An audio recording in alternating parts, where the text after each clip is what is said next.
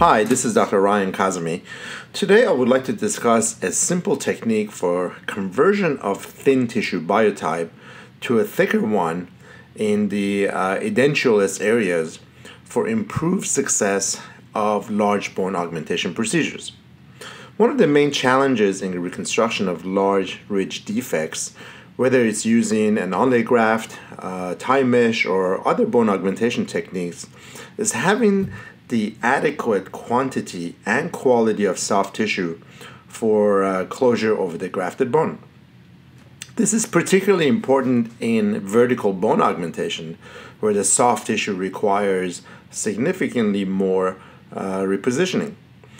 Patients who present with a thin tissue biotype are at increased risk for graft failure, mainly due to soft tissue dehiscence and breakdown over the grafted site. Therefore, in such circumstances, it's highly beneficial to convert the thin tissue biotype to a thicker one before the bone grafting procedure is performed. The thickness of the soft tissue over the defect can be easily measured either with a periodontal probe or simply by palpating it. My protocol is to augment the soft tissue first, converting it from a thin biotype to a thicker one, allowing it to heal for about two and a half to three months, and then perform the bone augmentation surgery secondarily. This allows adequate time for the soft tissue to integrate, to heal, to mature, and develop the vascularization necessary for success of our bone graft. A soft tissue with thick biotype is much easier to work with and manipulate when raising a flap, repositioning it, or during suturing. It also offers more resiliency during the flap advancement and it also adds additional protection over the grafted bone, hence decreasing chances of dehiscence. So let's take a look at this patient who had multiple previous surgeries for failing implants, presenting with a large vertical deficiency in the posterior mandible, with good interseptal bone level at the premolar and good bone height approaching the ramus aspect. It's not unusual to see soft tissue atrophy in multiply operated sites and loss of vestibular depth that limits the amount and quality of the available soft tissue. A TiMesh technique was elected to restore the horizontal and vertical deficiency in this patient. However, the soft tissue is quite thin and inadequate and would present a high risk of dehiscence, which would be detrimental to the success of the, of the TiMesh and the bone graft. So we'll first convert the soft tissue to a thick tissue biotype and then perform the bone augmentation in a delayed fashion. Let's walk through the procedure step by step. First, we'll localize the area. Since we're going to develop a supraperiosteal flap, we'll place the local anesthesia solution at the submucosal level and attempt to balloon the soft tissue, which will help with the dissection as well as with hemostasis. Next, we'll create two vertical incisions, one at the anterior aspect and one at the posterior aspect of the defect.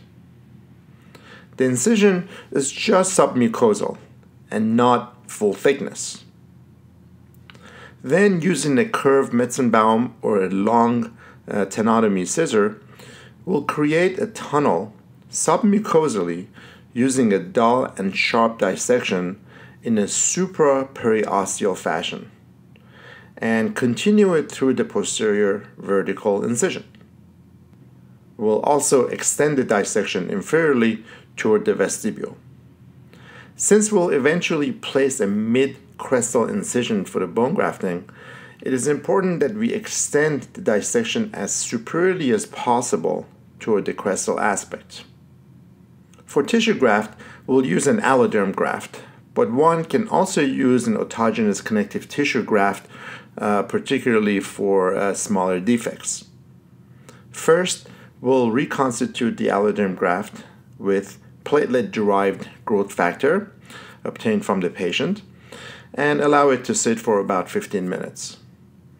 Next, we'll fold the alloderm with its dermal side everted on the surface and place a couple of stabilizing sutures. This provides us with a thicker graft than if used as a single layer.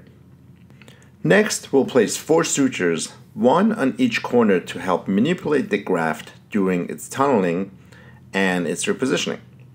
A long hemostat is placed through the tunnel, either from the anterior or the posterior incision, uh, whichever is easier.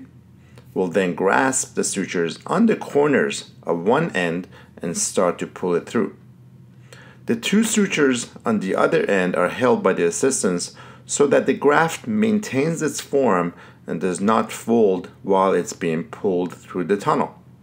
As the hemostat is withdrawn from one end, the graft on the other end is tucked in while controlling it with the guiding sutures.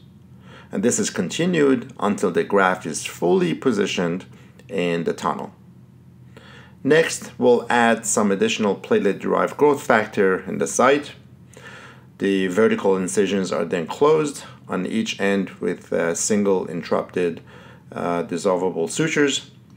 And we'll let the graft heal for about three months before uh, proceeding with bone augmentation.